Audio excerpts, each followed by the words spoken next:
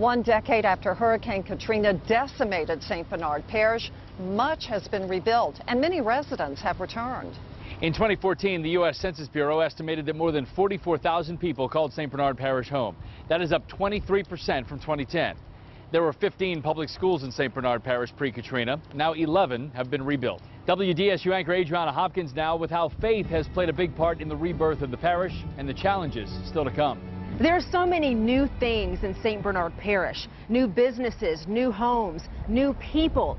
The school system, the hospital, city services, they're all top notch. But when you talk to people in St. Bernard Parish, they say there is still a lot of work to be done, bringing people back, rebuilding. And the heart of that effort is the church. There's only one body big enough to handle something like this, and it's the church.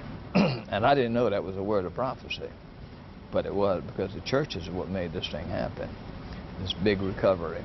Dr. John D. Jeffries, one of many pastors who stayed after the storm, he credits the church for a different sort of resurrection, the rebirth of St. Bernard Parish. Out of its post-Katrina hellscape, new life. Here, church is much more than a building. It is the people. The grit and the grime was done by people sitting in pews in churches across the country. So Pastor Jeffries of First Baptist Church in Chalmette says it is the church and its flock that laid the foundation. They sent people, they sent resources, they sent money, they sent supplies. They came down, they manned the fort, uh, they ran feeding stations, they brought their hammers, their tools.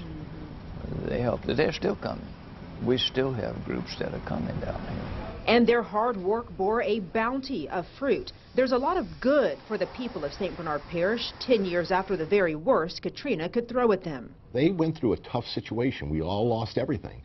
But the, the attitude of this parish and the people is such positive that it's moved forward. And, and, we're doing so much better now. President Dave Peralta says the parish applied for a $21 million loan to help replace 50 to 60 percent of the water lines. The community, he says, is attracting developers who see a future here. Our value of the property is right at, if not exceeding, what they were pre-Katrina. You know, that's something that people thought it would take 20, 25 years for that to happen. As, as, a professional planner, I thought it would take a lot longer to happen. Former parish president Craig Taffaro saw the community through much of the rebuilding effort before becoming the state's hazard mitigation director. He's seen plenty of change, but he says through it all, St. Bernard has not lost its charm. Uh, a relatively safe community. Uh, education system is still one of the top, you know, in the state. Uh, so we, we have a lot of positives about St. Bernard. And it isn't just outside investors with a newfound or renewed interest in St. Bernard Parish, but someone more vital to rebirth than that. I find that the quality of commitment that the people in this church have towards ministry, towards reaching out and helping uh, their fellow man, their neighbors, uh, more is accomplished with less here, and in my mind, that's evidence of God's movement in our midst. And yet, something is missing.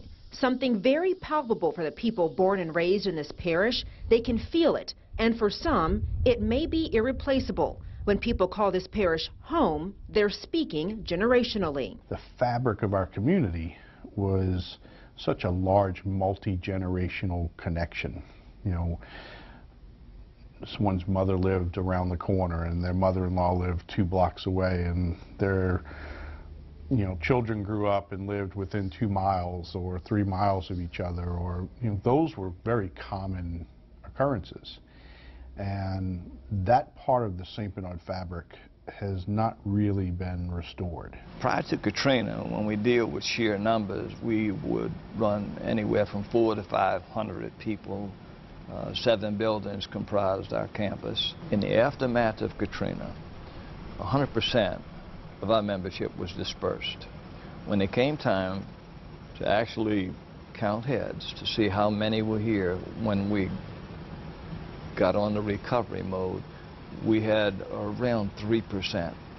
That was about 30 people that we could count on, pre-Katrina people. We still have around 30 or 40 pre-Katrina people. Before Katrina, St. Bernard was home to more than 67,000 people. In 2010, that figure had plunged by almost half to just under 36,000.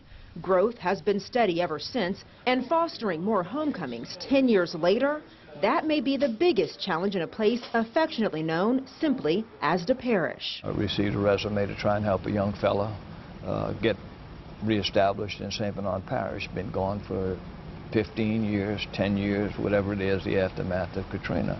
That's still going on. People left, homes and buildings washed away, churches were destroyed, some never to return. Recovery has been a process 10 years and counting.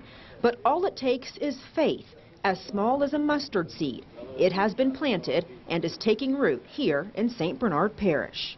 Um, I'm happy to be here. I love these folks. I do feel that I am where God wants me to be. Right now, and I'm still convinced that this is where I need to be. I've always used a little moniker to define our church, an unbelievable people doing the impossible for the glory of God. I saw that before Katrina, but I see it even more so now in the aftermath, even 10 years later. We have shown you just how far St. Bernard Parish has come since almost being wiped off the map a decade ago. The people here are strong and refuse to be knocked down by Mother Nature. They have made their home here, many for generations, and this is where they plan to stay. One thing for sure, the people of St. Bernard Parish will not go down without a fight. Good evening. I'm Margaret Orr. And I'm Scott Walker. Thanks for joining us tonight for our focus on St. Bernard Parish 10 years forward. Good night.